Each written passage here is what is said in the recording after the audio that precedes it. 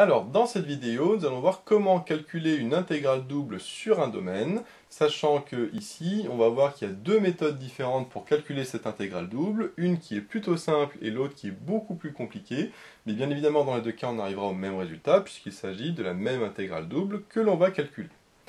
Donc on nous demandait ici de calculer l'intégrale double sur un domaine D de y sur x dx dy. Et on nous disait que D c'était le domaine délimité par les droites d'équation x égale 1, y égale x et y qui est égal à 2x. Donc la première étape, ça va être déjà de tracer ce domaine D dans le plan XY afin de voir à quoi ça ressemble et pour savoir comment on va paramétrer ce domaine. Parce que bien évidemment, quand on dit l'intégrale double sur D, on ne nous dit pas à l'avance quelles sont les bornes de X et quelles sont les bornes de Y. Ça se trouve, en plus, les bornes de X et Y vont dépendre l'une de l'autre, euh, ou si ça se trouve, elles vont euh, juste être des réels. À ce moment-là, la méthode de calcul va être totalement différente on va voir justement qu'il y a deux manières différentes de mettre les bornes, sauf qu'il y en a une qui est très simple et l'autre qui est beaucoup plus compliquée. Alors si on trace dans un repère XY notre domaine D, à quoi ça va ressembler? Eh bien il va falloir tracer ces différentes droites et puis on va voir qu'est-ce qu'on obtient. Donc là j'ai X, là j'ai Y, X égale 1, donc là j'ai 1, et donc X égale 1 c'est la droite verticale qui est comme ça. Ensuite, la droite d'équation y égale x, je sais que c'est du style ax plus b, donc il me faut deux points de cette droite. Donc déjà, si x vaut 0, y vaut 0, donc ça va passer par l'origine ici. Et je vais prendre x égale 1, comme ça au moins euh, ce sera sur la droite. Et si x vaut 1, y égale 1, et donc si x vaut 1, y égale 1, ça veut dire que c'est le point qui est ici. Supposez que y est là. Et donc, je sais qu'à ce moment-là, la droite d'équation y égale x, c'est celle-là, celle qui passe par le point 0, 0 et par le point 0,1. Ensuite, pour y égale 2x, je fais pareil. Si x vaut 0, y vaut 0, donc c'est toujours l'origine.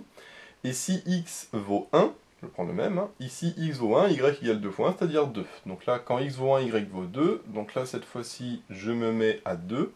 Je sais à ce moment-là que le point sera celui-là, et donc je trace, pareil, de la même manière, la droite d'équation y égale 2x. Et donc là, en traçant les trois droites, je vois que j'ai fait apparaître un triangle au milieu qui correspond au domaine D. Puisque euh, x égale 1, c'est ça, donc c'est soit à gauche, soit à droite, sauf qu'on voit que si on prend à droite, après ça, c'est infini.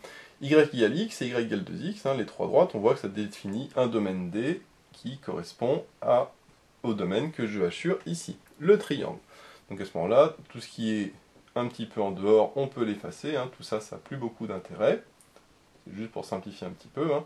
Et donc, finalement, mon domaine D est égal à celui-là. Une fois que j'ai fait ça, eh bien, je peux paramétrer les différentes bornes pour x et pour y. Et c'est là qu'on a deux possibilités, puisque ce qu'on voit, c'est que le x, lui, varie entre 0 et 1, alors que le y, lui, varie de 0 à 2. Et donc, soit on dit que l'on fait l'intégrale de 0 à 1, donc ça c'est pour x, donc on met dx, et après, pour l'intégrale de y, où je mettrai des y, là, il faut dire, pour chaque x, si je prends un x au hasard, par exemple un x ici, le y varie de quoi à quoi Eh bien, je vois que si je prends un x ici, mais on voit que pour n'importe lequel, ça va faire la même chose, eh bien, j'ai y qui varie de là à là, c'est-à-dire entre les deux courbes. De la courbe y égale x à la courbe y égale 2x. Donc si je prends le x qui est là, ça varie de cette courbe-là à cette courbe-là, c'est-à-dire que le y varie de x à 2x. Si je prends un x avant, on voit que c'est la même chose, hein, j'ai le y qui varie de x à 2x. Le y varie, hop, comme ça, en vertical, de x à 2x. Et donc à ce moment-là, ce serait l'intégrale de x à 2x de ce que j'ai ici, c'est-à-dire y sur x. Donc ça, c'est la première méthode que l'on va faire. On va voir, c'est très facile à faire. Et puis après, on verra la deuxième méthode en faisant cette fois-ci l'inverse, c'est-à-dire sur euh, ici y et après x. Et là, on va voir par contre que c'est beaucoup plus compliqué. Donc cette intégrale, si on l'appelle i, donc je vais faire le calcul ici. Donc on a l'intégrale de 0 à 1, de l'intégrale de x à 2x, de y sur x, dy, dx. Donc on voit là que je suis obligé de faire d'abord l'intégrale par rapport à y, puisque les bornes de y dépendent de x. Ça c'est ce qu'on avait vu dans une première vidéo sur la base des intégrales doubles. Quand j'ai une des, bornes, enfin une des variables dont les bornes dépendent de l'autre variable, je suis obligé d'intégrer d'abord par rapport à cette variable. Donc ici, je vais d'abord intégrer par rapport à y. Si j'intègre par rapport à y, le x est une constante, donc je peux le sortir devant, ça fait l'intégrale de 0 à x, de 1 sur x, et ici il me reste l'intégrale de x à 2x, de y, dy, dx. Sauf que le y, je sais faire primitif, par rapport à y, c'est y carré sur 2. Donc ça me donne y carré sur 2, entre x et 2x, et tout ça avec le dx. Je vais maintenant pouvoir remplacer. Donc on remplace toujours d'abord par le haut, ensuite par le bas. Donc je remplace d'abord y par 2x, puis y par x.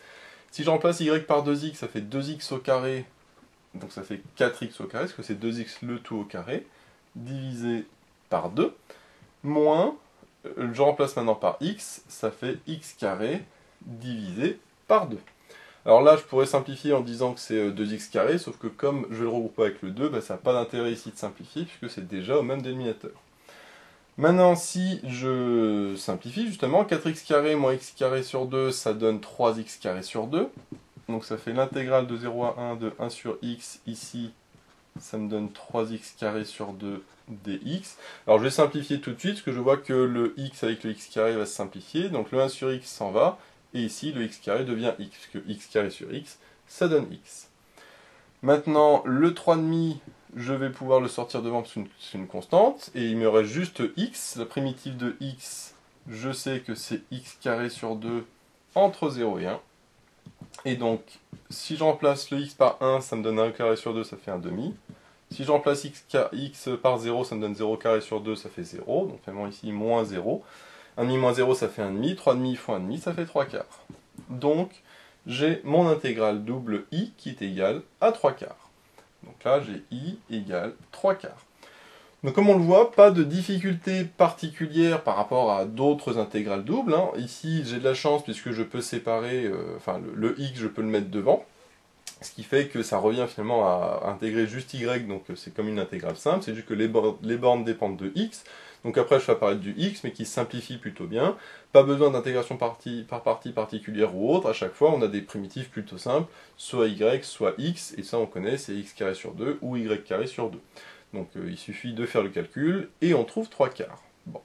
Ça, c'était pour la première méthode. Comme on le voit, se fait assez rapidement.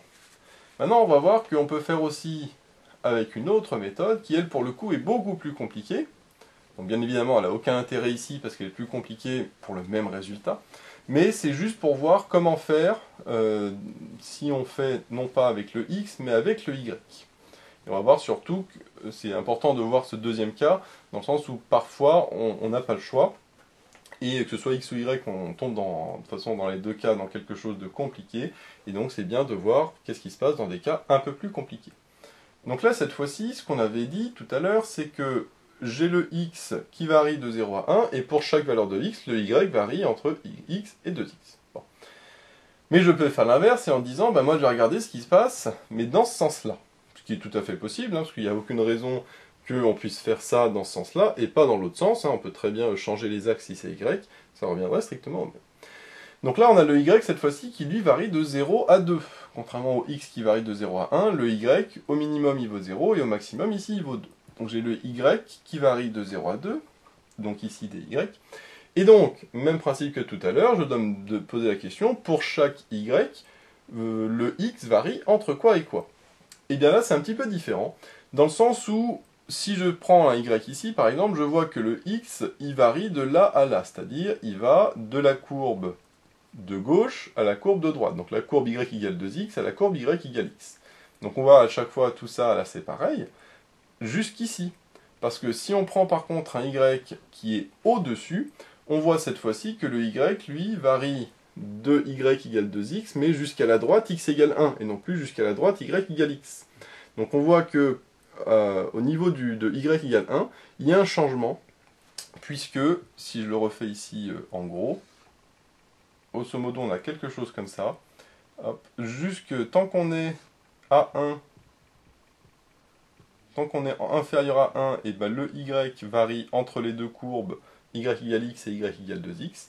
Par contre, quand je suis au-dessus de 1, là, je varie entre y égale 2x et x égale 1. On voit que cette courbe-là n'est pas la même que celle-là. Donc là, contrairement à tout à l'heure, je vais être obligé de couper mon intégrale par rapport à y, par rapport à x en 2, puisque euh, je ne peux pas dire de 0 à 2, bah, le x varie de temps à temps. Donc je suis obligé de faire une intégrale de 0 à 1, où là je vais avoir x qui va varier de là à là, c'est-à-dire de, cette droite-là à cette droite-là, et plus l'intégrale de 1 à 2, donc quand je suis cette fois-ci ici, où là par contre, mon x va varier de cette droite-là à cette droite-là, c'est-à-dire à la droite x égale 1. Donc qu'est-ce que ça donne maintenant au niveau de l'expression que je vais trouver?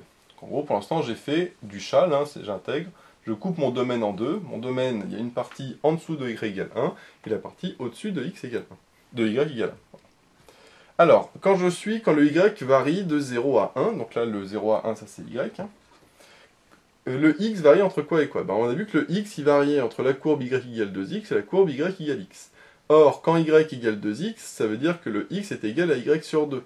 Donc ça veut dire que le x, il varie de y sur 2 jusqu'à la droite, et où là, la droite, le x est égal à y. Donc de y sur 2 jusqu'à y. Et là, du coup, c'est fini. Donc y sur x dx, ça, ça change pas. Donc déjà, on voit que c'est un petit peu plus compliqué, puisque je vais de y sur 2 à y, donc déjà j'ai une fraction qui apparaît. Et maintenant, quand je varie de 1 à 2, là on a dit cette fois-ci que je vais de la droite y égale 2x à la droite x égale 1. Donc le x, il varie encore une fois de y sur 2, donc il part toujours de y sur 2, cette, cette droite-là, mais il va jusqu'à x égale 1, donc ça veut dire que je vais, le, le x va jusqu'à 1. Donc là, on voit hein, que c'est totalement différent. Déjà, j'aurai deux intégrales doubles à calculer, contrairement à tout à l'heure, ce qui complexifie un petit peu le calcul, avec en plus des bornes de, x qui ne sont pas les mêmes dans les deux cas. Donc, bien évidemment, on voit que c'est pas la, meilleure solution. La solution tout à l'heure était beaucoup plus simple, mais si jamais on nous imposait de faire comme ça, ben, on serait obligé de, faire de cette manière-là. Alors on voir que la difficulté ne s'arrête pas là, puisque ici, euh, les, les primitives que l'on va trouver sont beaucoup plus compliquées que tout à l'heure. Donc si on refait notre, notre i, avec cette expression-là. Donc là, comme tout à l'heure, comme les bornes de x dépendent de y, cette fois-ci, je suis obligé d'intégrer d'abord par rapport à x, et après, j'intégrerai par rapport à y. Donc l'intégrale de 0 à 1, ça, ça bouge pas. Là, c'est le y maintenant qui est constant, donc je peux sortir de l'intégrale. Donc là, je mets y devant. Et donc, qu'est-ce qui me reste dans l'intégrale? Il me reste 1 sur x dx. Or, 1 sur x, je sais que la primitive, c'est ln de x entre y sur 2 et y, et tout ça dy. Donc déjà on voit qu'on a du ln qui apparaît, donc ça va être un petit peu plus compliqué au niveau du calcul. Et maintenant pour la deuxième intégrale, donc le 1 à 2, lui, bouge pas. Le y, je peux encore une fois le sortir, et là j'ai encore bien sûr du 1 sur x, et donc ça va aussi me donner ln de x, mais cette fois-ci entre y sur 2 et 1. Donc là, de y sur 2 à 1, et toujours dy. Je vais remplacer par les bornes, le y qui reste, là j'ai ln de x moins ln de y sur 2, de y pardon, ln de y moins ln de y sur 2, hein, le haut moins le bas, le dy ne bouge pas, et ici, même principe, c'est le haut moins le bas, ça fait ln de 1 moins ln de y sur 2, sauf que ln de 1, je sais que ça fait 0, donc il reste juste moins ln de y sur 2. Et tout ça avec le dy. Maintenant, on va pouvoir continuer le calcul. Sauf que ici, bien sûr, c'est beaucoup plus compliqué, puisque maintenant, on va falloir faire la primitive de ln. Avant de faire la primitive de ln, on va d'abord simplifier un petit peu l'expression que l'on a, puisque j'ai ln de y moins ln de y sur 2, et je sais que ça, que ln de a moins ln de b, ça fait ln de a sur b. Donc ln de y moins ln de y sur 2, ça me fait ln de y divisé par y sur 2. Or, y divisé par y sur 2, je sais que ça fait y fois 2 sur y, c'est-à-dire ça fait 2. Et donc, ln de y moins ln de y sur 2, ça me fait ln de 2. Donc ici, j'ai y ln de 2. Donc là, on voit qu'on a un ln de 2 qui apparaît. Ce qui peut paraître étrange dans le sens où, à la fin, moi, je sais que je dois trouver 3 quarts. Donc, pour trouver 3 quarts avec du ln de 2, on, se demande bah, comment on va faire? Eh bien, on va voir qu'en réalité, le ln de 2 va s'annuler. Là, ce que je vais faire, c'est que je vais mettre le moins devant. Donc, ça me fait moins l'intégrale de 1 à 2 de y ln de y sur 2 dy. Maintenant, l'intégrale de gauche va être plutôt simple à calculer dans le sens où le ln de 2 est une constante, donc je peux le sortir de l'intégrale. Ça me donne ln de 2. Et là, j'ai l'intégrale de y entre 0 et 1. L'intégrale de la primitive de y, c'est y carré sur 2. Et entre 0 et 1, ça fera 1,5 moins 0, euh, ça fera 1,5. Donc je mets directement 1,5 de ln de 2. Comme ça, ce que là, on a déjà calculé tout à l'heure, cette intégrale. Donc on ne va pas la recalculer, ça donne 1,5. Donc j'ai ln de, 1, de 2 fois 1,5, ou 1,5 de ln de 2, hein, ça revient au même. Maintenant ici, on voit que on a euh, ln de y sur 2. Alors soit je mets ln de y moins ln de 2, ça c'est tout à fait possible, euh, soit je laisse comme ça, mais à ce moment-là, il va falloir faire une IPP, une intégration par partie, puisque là j'ai du y et là j'ai du ln de y sur 2. Et bien évidemment, euh, ln de y, enfin y fois ln de y sur 2, je ne connais pas la primitive, donc je vais faire une intégration par partie. Pour ça, je vais euh, faire la dérivée de ln et la primitive de, y, parce que le ln, si je fais sa primitive, c'est plus compliqué. Donc le u que je vais prendre, ça va être ln de y sur 2, et donc mon v', ça va être y carré. Et comme ça, quand je fais, ce y tout court, pardon, comme ça, quand je fais le v, la primitive, ça me donne y carré sur 2 et u', la dérivée de ln de y sur 2. Alors le mieux, c'est de dire que c'est ln de y moins ln de 2. ln de y sur 2, c'est ln de y moins ln de 2. Et quand je dérive, le ln de 2 étant une constante, il s'en va, donc ça revient à diviser ln de y. Et la dérivée de ln de y, je sais que c'est 1 sur y. Voilà ce que j'ai pour mon intégration par partie. Donc maintenant, je vais mettre moins... Alors attention, j'ai une grande parenthèse, puisque j'avais un moins devant l'intégrale. Donc si je fais mon intégration par partie, ça me donne entre crochets UV, donc UV c'est ça fois ça, c'est-à-dire y carré sur 2 fois ln de y sur 2, à prendre entre 1 et 2, moins l'intégrale de u'v, c'est-à-dire 1 sur y fois y carré sur 2, 1 sur y fois y carré sur 2, je vois que les y vont simplifier, y carré sur y ça fait y, et donc ça me donne juste l'intégrale de y sur 2 dy entre 1 et 2. Donc encore une fois, on voit que c'est beaucoup plus compliqué que tout à l'heure, parce qu'on a une intégration par partie. Tout à l'heure, il n'y avait pas d'intégration par partie qui entrait en jeu. Maintenant, le calcul va être plutôt simple, parce que les, étapes les plus dures sont, derrière nous. Je remplace d'abord y par 2, puis y par 1. Quand je remplace y par 2, là, ça va me donner 2 au carré sur 2. Ça, ça fait 2. Ici, j'ai ln de 2 sur 2, donc ça fait ln de 1 donc ça fait ln de 1, donc ça fait 0, donc finalement ça fait 2 fois 0.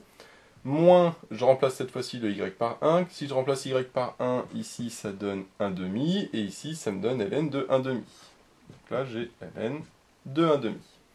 Ensuite j'ai moins le y sur 2, le 2, 1 demi, je vais pouvoir le sortir devant aussi. Et la primitive de y, c'est y carré sur 2. Donc ça me donne y carré sur 2, entre crochets, entre les bornes, 1 et 2. 2 fois 0, ça fait 0, donc ça, je l'enlève. Maintenant, ce que je vois, c'est que ici, j'ai ln de 1,5. ln de 1,5, je sais que c'est moins ln de 2, donc je vais le transformer directement. ln de 1,5, c'est moins ln de 2, mais comme j'avais un moins devant, ça va devenir plus. Voilà, ça, je le fais directement pour gagner euh, une étape. Et là, ce que je vois, c'est que maintenant, j'ai 1,5 de ln de 2 moins 1,5 de ln de 2, et donc on voit bien que les ln de 2 s'annulent. Donc j'ai 1,5 de ln de 2, le moins ici va faire que c'est moins 1,5 de ln de 2, ça s'annule. Maintenant, qu'est-ce qui reste finalement? Ben, Il ne reste plus que ça, mais attention avec le moins devant, parce que j'avais une grande parenthèse. Moins et moins, ça va faire plus, donc finalement, il me reste uniquement un demi de ça. Donc ça me donne un demi. Si je mets maintenant le y, je remplace par 2 puis par 1, je remplace y par 2, ça fait 2 au carré sur 2, ça fait 4 sur 2, ça fait 2. Si je remplace le y par 1, ça me fait 1 demi. Donc ça me fait 2 moins 1 demi. 2 moins 1 demi, ça fait 3 demi. Et 3 demi fois 1 demi, ça fait 3 quarts. Donc, heureusement, je retrouve la même chose, que si j'avais retrouvé quelque chose de différent, c'était faux, puisque ne faut pas oublier que moi je calcule la même intégrale double, c'est juste une méthode différente, mais à la base j'avais la même chose. Et euh, je retrouve bien évidemment mon 3 quarts de tout à l'heure. Alors comme on le voit, les calculs ici sont beaucoup plus compliqués que ceux qu'on avait tout à l'heure. Hein. Tout à l'heure ça a pris... Euh, 2-3 minutes, là ça prend quand même 3 euh, fois plus, euh, du fait que bah, déjà j'avais coupé mon intégrale en deux, puisqu'on voit que si on regarde en horizontal, bah, j'ai deux, zones, et après en plus dans mon intégrale, Ici, j'avais euh, du ln qui apparaissait avec euh, du ln fois du y, donc là en plus je suis obligé de faire d'une intégration par partie, et au final ça fait des calculs beaucoup plus compliqués pour le même résultat. Donc évidemment, il n'y a aucun avantage à faire cette deuxième méthode par rapport à la première, mais il faut quand même savoir la faire, euh, puisque, comme j'ai dit, dans certains exercices, que ce, on prenne soit par x, soit par y, on tombe dans ce genre de cas. Donc c'est mieux de, savoir faire les cas compliqués et pas uniquement les cas simples, pour que le jour où ça arrive, bah, vous soyez euh, prêt à le faire, en ayant bien évidemment au préalable tracé le domaine D, puisqu'on voit que si on ne trace pas le domaine D dans le repère XY, bah, c'est impossible de savoir quelles sont les bornes que l'on va mettre, surtout en plus si on fait par rapport à Y, où là c'est encore plus compliqué. D'où l'intérêt de tracer le domaine D auparavant. Donc voilà, j'espère que cette vidéo vous sera utile. N'hésitez pas à vous abonner pour être au courant des nouvelles vidéos qui sortiront. J'ai mis le lien dans la description vers l'annonce d'exercice, ainsi que vers d'autres exercices sur les intégrales doubles. J'ai également mis le lien vers la page Tipeee où vous pouvez soutenir Méthode Math. Et moi je vous dis à bientôt pour de nouvelles vidéos.